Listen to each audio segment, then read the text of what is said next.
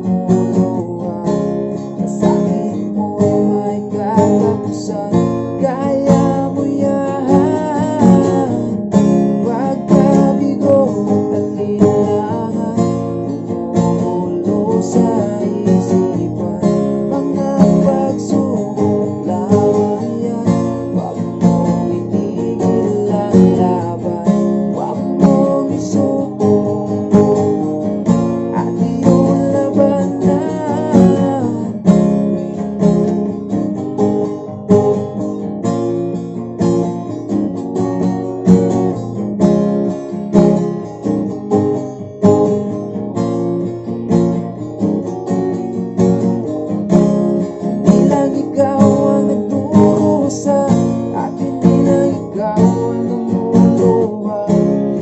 akin mo'y may katapusan Gaya